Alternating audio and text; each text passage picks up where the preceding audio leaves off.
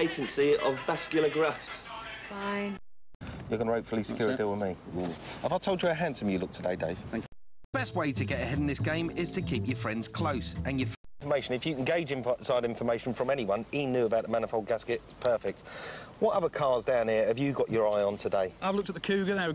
Don't mind me getting into a battle with you over a couple of these cars. I'll have a bid against you. Don't mind a bit. Lovely. Cheers, James. Thanks, Mike. Top work. After the break, armed with all the inside knowledge I can get, the tension mounts as the auction gets underway. Alfa 156, 2 litre twin spark, the plates with it, £3,500 anywhere.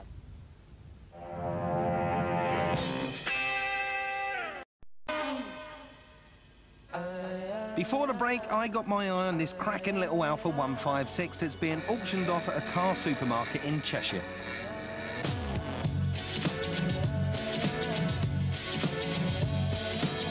There are quite a few cars to go under the hammer before we get to it, which gives me time to suss out who my main bidding rivals might be.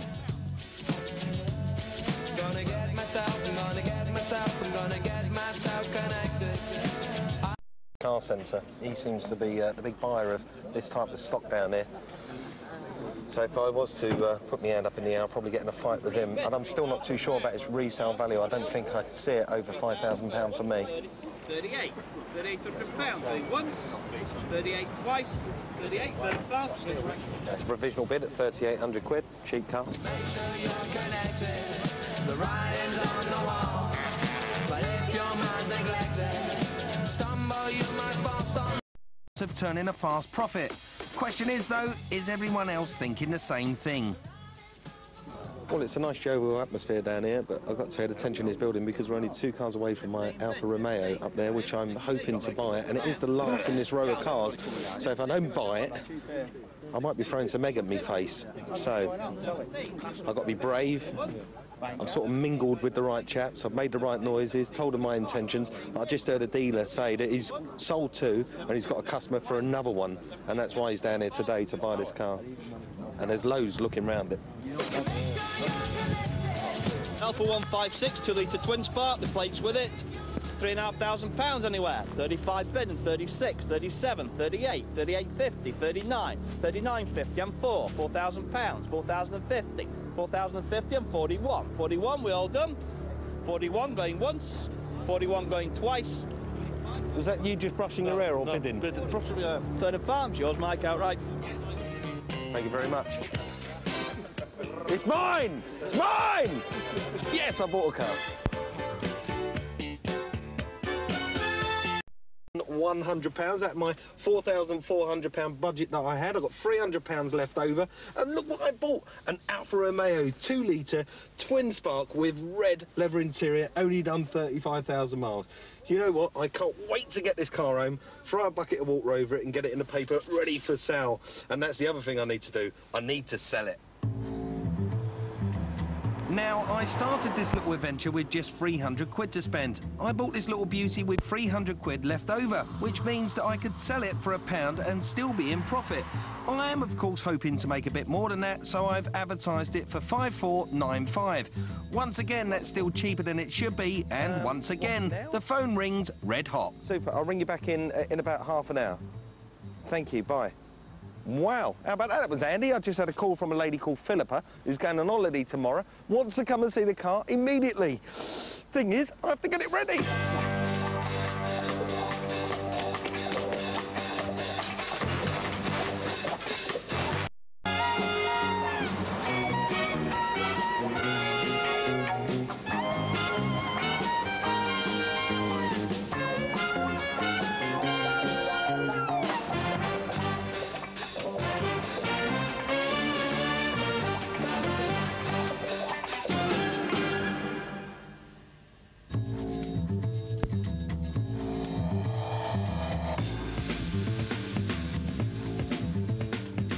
Well, there it is. This is my Oh, car site. Do you like it? I do, that Lots of effort has gone into this, and there is my car in its prime and glory. Alfa 156, 2 litre twin spark. I even marked it up, look, 5495. It's, it does look very nice, actually. Very nice. In, ooh, a bit of a nasty mark here. Yes, as I say, Yes. you will get the odd little car park thing on it. I mean, there's that little mark there, which, I mean, I could say, Hmm. the vicar who owned it before That's where he used to lean his bike up against it. But uh, probably the truth of it is, you can So- see somebody's come past So I've that got the old somewhere to park mine then. Somebody's come past with the old shopping trolley. Um, in lovely nick round the back. Carry a lot of rubbish. Do you? I do. I make a lot of. Look round the. In the do you know much about cars if you was buying a car? Um, well, I've had a few, but I wouldn't know. I don't know much, but I've had a few cars. well, I always like to. Yeah, you would know if it's right or wrong, though, wouldn't you? A car. Um, yes, I would. Yes. You would? Yes. Well, one of the best things to do in the boot of a car is when you Yeah. have a look round where the spare wheel is, people just look at the wheel, but look around it and see if there's any dents in the in the uh, bodywork around the wheel. Because if there is, that means it could have had a rear impact once or twice in its life. And as you can see, this one is nice and neat and tidy. So it hasn't. Underneath my bunting. So, um, you know, you've got another one here. Look, a little Yeah. weeny car park there. Yeah. Well, if you want to go back round, I'll show you inside because it's absolutely lovely inside. Right. That's lovely. Yes. And what I liked about it, I was lucky enough to be one of the first journalists to sunroof. The full kit and caboodle. It's, it's lovely. I do like it. You do like I it, don't like you? it, I do. will tell you what, it's a bit of you, this car.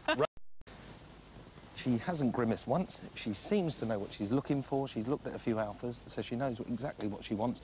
She definitely wants one with the red leather interior in silver, and that's exactly what I got.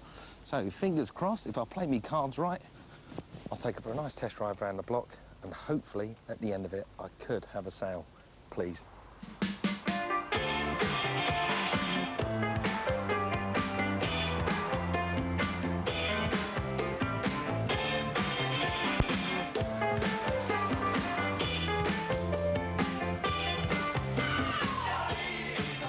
It's important not to ramble on too much on a test drive. Mention a good point, sure. She's as good as said that she's ready to buy the car but wants a second opinion, and I can't blame her for that, but I hope she comes back.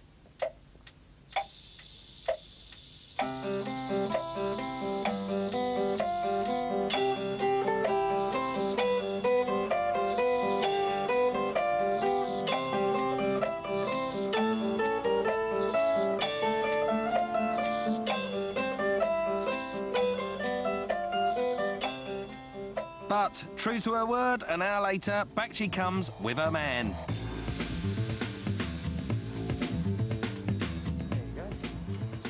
Now, Chris seems like a pretty laid-back sort of bloke. He looks the car over inside and out and found no fault with my Italian stallion. I think he knows Philippa's got her heart set on it and she's ready to make me an offer. So, what do you think to 5-2? I was hoping for a little bit more. Um, oh, I was hoping for a little bit more than that. What, how, Um, how- well, I was hoping for, for five three fifty. Um, yeah, go on then. Yes. Yes. yes, Wonderful. That's a yes. Cracking. Are you happy with that, Chris? happy with that, yes. Yes. Two handshakes for the price of one. Five three fifty. Right, let's get you up to the office and do some paperwork. The geezer with the bunny and a trilby hat. Reckons he's legit, but he ain't all that. Half a daily, a little dodgy maybe, but underneath, he's all right.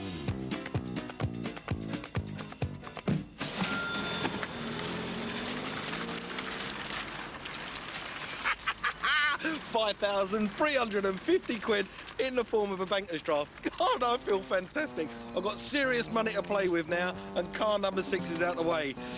I've just got to find car number seven. Yes.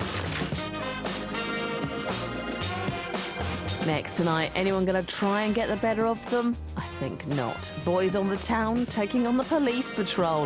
Well, that's always good for a laugh. It's next.